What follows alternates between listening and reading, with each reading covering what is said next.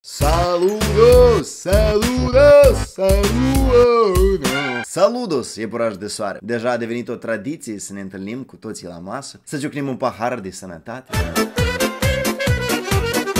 și să ne spunem unul altuia și nici câte macaroane au adunat pe urechi urmărind mass media de la noi. La 5 iulie 2018, în Parlamentul European au avut loc dezbateri privind criza politică din Republica Moldova. În urma discuțiilor a fost abordată o rezoluție. 343 de deputați au votat pro. 160 de deputați au zis spasiba mneni Holada în sens că s-au abținut, iar 35 de deputați au votat împotriva rezoluției. În rezoluții se menționează despre mai multe probleme și nereguli care au loc acum în Republica Moldova. Какие проблемы? Subiectul rezoluției a fost abordat de mai toate instituțiile media de la noi. Însă ea ca modul de reflectare a fost diferit la o cantoră la alta. Unii au insistat pe aspectul antirezoluție, Publica TV, Canal 2, alții pe aspectul pro-rezoluție, Jurnal TV de exemplu. Dar au fost și unii care au reflectat corect și echidistant acest subiect. Vorbim aici de TV8, Pro TV Chișinău, Moldova 1 chiar și unimedia.info. Voi vă dați seama să face jurnalism corect în Republica Moldova, e de sine bun. Ei, dar noi nu ne-am adunat aici să vorbim despre cei care plantează florișele, dar despre cei care le zmulg.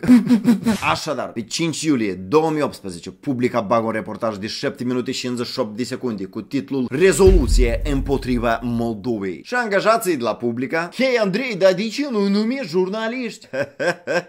Un bărbat de 33 de ani din Căușeni și-a tăiat penisul și l-a aruncat la găini. Așadar, angajații de la Publica au prezentat informația cu zero echidistanță. Ca să înțelegeți mai ușor, imaginați-vă că știrea asta de la Publica e căldarea, dar echidistanța e jinul. Căldarea asta de la Publica nu doar e goală și uscată, dar a, încă și ruginită și are fundul bortilit. Dezbaterile din Parlamentul European legate de situația din Moldova în contextul invalidării alegerilor nu au stârnit prea mare interes în condițiile în care au avut loc cu sala aproape goală. Aha, 538 de deputați din 751 erau în sală și sala era aproape goală.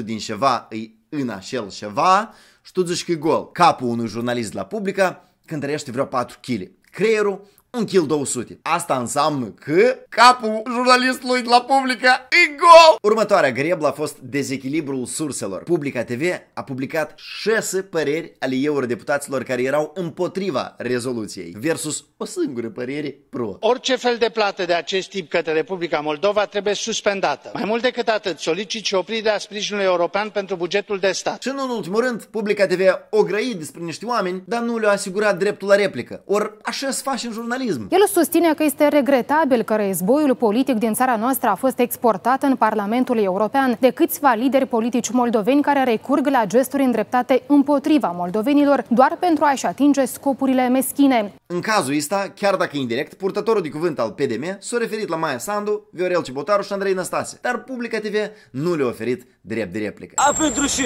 Jurnal TV, referindu-se la rezoluția Parlamentului European, o difuzat patru știri reportaje, cu un total de emisii de 23 de minute și 10 secunde. That's too much, man! Cea mai mare abatere de la norme făcută de Jurnal TV, și asta iarăși e ca o cruce peste jurnalismul moldovenesc, a fost amestecul faptelor cu opiniile. Repet, e ca și cum în loc să spui mâța este un animal mamifer, ai spune mâța asta foarte drăguț animal, mie îmi place mângă-mângă.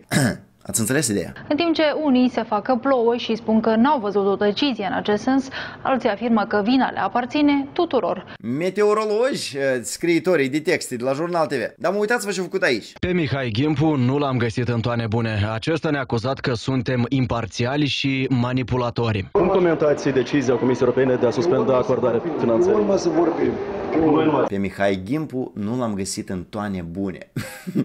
Cu asemenea expertiză, ăștia nu sunt reporteri, ăștia sunt psihanaliști. Accent TV a difuzat o știre care a încălcat vreo 6 norme ale codului deontologic, plus a manipulat mai ceva ca șobanul turma de oi. Mult așteptatul ajutor macrofinanciar din partea Uniunii Europene este mai departe ca niciodată. Accent TV a favorizat direct pe SRM-ul și președintele Dodon și a defavorizat PDM-ul și opoziția extraparlamentară. Well, of course. Na primer, vedeți aici cum președintele Dodon este prezentat în sfârșit așa cum noi teți îl cunoaștem, drept un salvator național. Iată de ce aceste partide după alegeri trebuie să-și găsească locul în opoziție, iar socialiștii să salveze țara. Iar socialiștii să salveze țara. Înainte, înainte, cu căpșuna în mâine, dușmanul ei va fi pus în genunchi.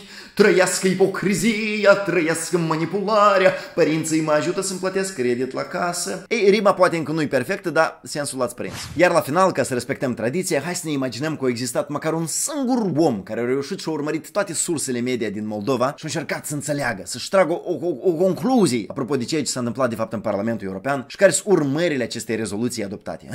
Așadar, dați-mi voie să fac un rezumat al acestei epopei. 343 de eurodeputați într-o sală aproape goală cu nimeni înăuntru, doar cu 343 de eurodeputați, au adoptat o rezoluție care a fost o înțelegere ascunsă dintre Plaha și Anastasia, în timp ce Gimpu nu era Antoanie Bune, a câștigat Dodon, care l-a dat jos pe Plaha și pe Anastasia în urma rezoluției adoptate. Normal? Normal. Repet, nu ai nevoie de droguri atâta timp cât o bună parte din presa moldovenească E controlată politic. Atât pentru astăzi, dragi prieteni, vă mulțumesc pentru atenție, mulțumesc pentru susținere și inspirație portalului mediacritica.md și Centrului pentru Jurnalism Independent din Moldova. Aruncați câte un like, un share, vă rog frumos, vă rog să vă abonați și la canalul de YouTube, să apăsați pe clapațel, iar dacă vă place ceea ce fac și ați vrea să continui, vă rog să veniți să ne vedem în perioada 3-4 august la spectacolul meu de stand-up despre alegeri. Cum credeți? Despre ce o să vorbesc eu acolo? Biletele le găsiți în linkul din descriere acestui video sau în comentarii sau direct pe iticket.media. Гребицева cât nu le-a cumpărat primarul Ilan Șor. Все, вы достали, я предупреждал.